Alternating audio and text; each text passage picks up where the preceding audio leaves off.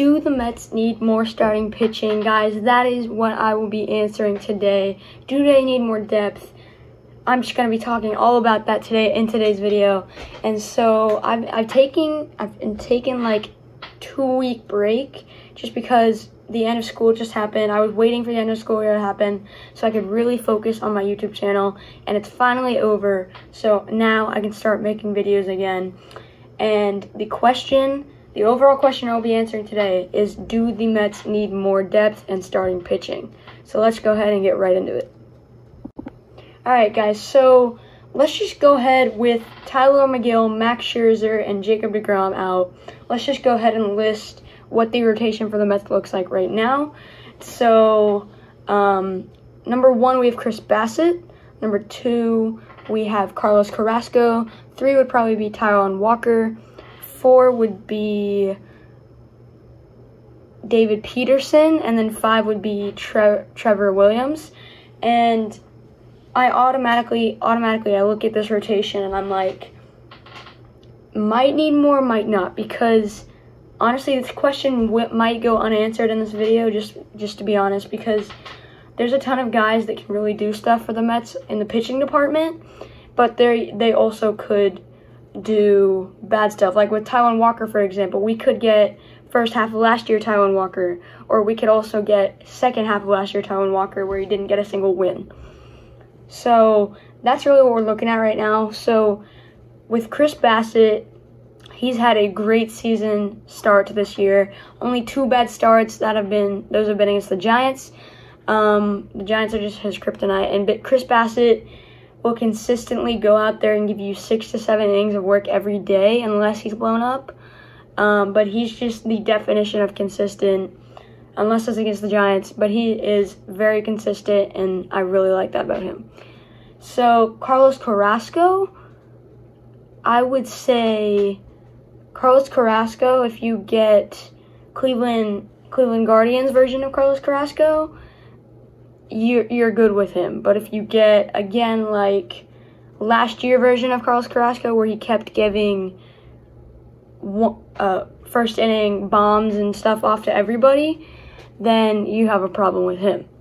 But right now, we're looking good with Chris Bassitt and Carlos Carrasco. They are both doing very well. Taijuan Walker now, like he is, he's doing solid. But again, if he reverts back to what he was the second half of last season, you never know what can happen. So right now, he's looking good. So we have three solid starters that will probably give you some consistent starts three days in a row. That's good. But now we get into David Peterson and Trevor Williams. Two guys that are very, very questionable with their starts. So let's just be honest. David Peterson, if he pitches like he did the other day against the Giants or the Rockies, then we're okay. But if he doesn't, then we're not okay. David Peterson is very, very inconsistent, and I hate to say it, but he is. And he might be one of those guys that we need to replace. And same with Trevor Williams. Like he's very, very inconsistent. Last year was very good, but this year he's starting off a little bit eh. And we don't really the Mets really don't have a ton of depth in their bullpen either. Well, they do, but if another guy gets hurt, they have to go out and get another person. And so now since the bottom two guys in their starting rotation right now are not really the best guys you want to have in a rotation, more of like long relief bullpen guys. Let's go ahead and get into what the Mets could trade for and what their targets should be. All right, folks. So when you think of people that the Mets could trade for, very good trade targets, you automatically think of Luis Castillo, Tyler Mahle, um, Frankie Montas, a ton of guys.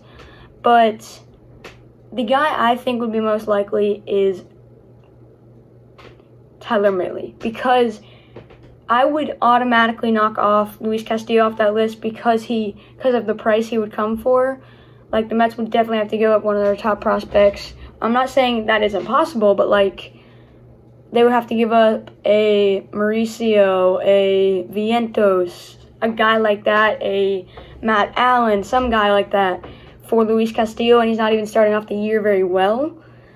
But Tyler Mahle, a much cheaper option, while he's not starting the year off very well, you do have that very high upside with him because He does not get hurt. He does not get injured. You can count on him every fifth day to be a starter, a pretty solid starter. He'll give you like three and a half to four ERA every year, which I'm not saying is amazing, but it, you can get by with it. And especially, he's better than Trevor Williams, David Peterson, guys like that, that you really just have spots in your rotation in your rotation that you have to fill. So let's go ahead and get into the other guy, Frankie Montas. And Frankie Montas is the leader of the Oakland A's rotation. And since they are in a rebuild, it gives you, along with the red, it get, along with the Reds, it gives you like a more, gives you more of a chance of being able to land him. But while he would be more expensive than Tyler Mahle, he would also be better than Tyler Mahle. So like you're getting that price for good, all right? So you're giving up that price, but you're getting good stuff back. And so since these three guys, mostly two guys, Tyler Mahle and Frankie Montas, are very good trade targets, I don't see how the Mets can't, but I do see why they would wait to trade. Like just let this just float up, just float up a little bit above sea level for the for a month or so, or even two weeks until Tylor Megill comes back, and then he's your number one, and that pushes everybody down a slot, right? So I would say just see where you are in a couple weeks maybe and then trade for somebody. But let's go ahead and talk about who the Mets could trade for this starting pitching depth. All right, folks. So whenever we think of Mets players that we could trade for starting pitching depth, we automatically think of Dominic Smith and JD Davis. Two guys that could really fit on a rebuilding team. Honestly, people that rebuilding teams could build around. Um, and that'd be like while I would hate to see Dom go, I'm okay with JD going because I'm not super high on him. Uh, I hate to see Dom go. It would be for a very good cause, and for a team like the Oakland A's who don't have a solid first baseman, that'd be very good. And along with probably Mark Vientos or Ronny Mauricio or Matt Allan, three guys that don't really have a set spot in the in the organization yet. That would be very good. Five very good guys you could trade. Um, right off the bat. And so, so some pitching depth that you could trade. You could probably trade a guy like David Peterson or Matt Allan. Um, those would be good guys to trade. But just thinking about a little bit further down the road, if you were to trade for somebody, these would be good guys who you could trade for. Alright folks, so that on the video here. Uh, I really hope you guys enjoyed. I haven't made a video in a couple weeks and I'm sorry about that. I was just waiting for my school year to end. And so, I really hope you guys enjoyed this video. YouTube recommends you watch it, and so do I. I will see you guys later. I'm Woody Baseball, and I will see you later.